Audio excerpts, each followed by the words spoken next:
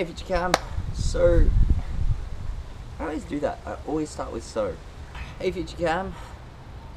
I'm not going to start with so. Hey, future Camm. So, today I want to. Hey, future Camm. Today I want to talk about knowing what you want. Because the last couple of days uh, we've been filming and it has been hectic. We've had to get up at 5 o'clock in the morning, both mornings, on like 4 hours sleep and downing massive amounts of coffee. And then going to be creative was difficult. Then going to work straight after on both days, and then the second day going back to filming. And I think last night was the first time in a long time I'd gotten home while the sun was still up. It got me thinking this morning about knowing what you want.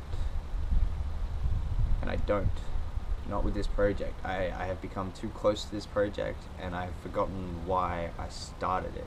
I've built it up in my head because I've become so invested in it and and yesterday was a perfect example. All of the things that we've shot have required public spaces and things that aren't in my control. Train times, uh, having to get and work on time, other people's schedules, uh, getting told off by trained people to stop filming in certain areas, car spots, traffic, just so many things that weren't in my control. I couldn't make it work. I couldn't come up with an idea. I couldn't think how to make it work the way I wanted, and I, I and I couldn't change what I wanted. I was ready to cock it. I nearly wanted to throw my tripod onto the ground and just go, fuck it, I'm not doing this anymore and I didn't I stopped myself from doing it because I didn't want to let everybody else down. I'm so glad I didn't as well. I would have been let down by myself. We just had to call it um, and reschedule it for this afternoon, which is either going to be a very good thing or a very bad thing. And at the moment, I'm thinking it's going to be a very good thing. Taking a step back from the project and realized that it's cool. Doesn't matter I don't have any formal training. I haven't even I don't even have that much informal training or learning or ability or experience, that's the word. But so whatever we do, you know, we can't expect a heap from it. In the last couple of days I've forgotten that.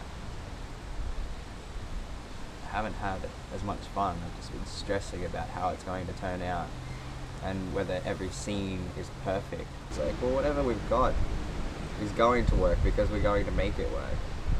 Because we're going to have fun and we're just going to do it. I think that's something I've lost over the last month or so when I first did that first vlog. I knew what I wanted. I just wanted to practice. And I just wanted to have fun.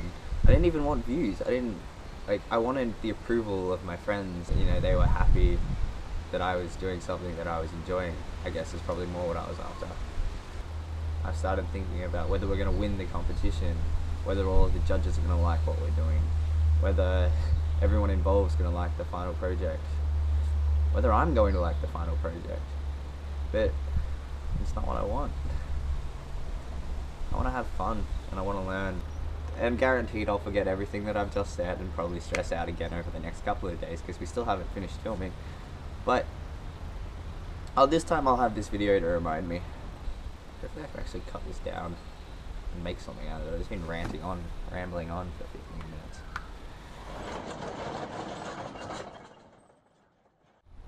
The sky's so blue. I can't see a single cloud. It is just a perfect shade of blue. It's fantastic.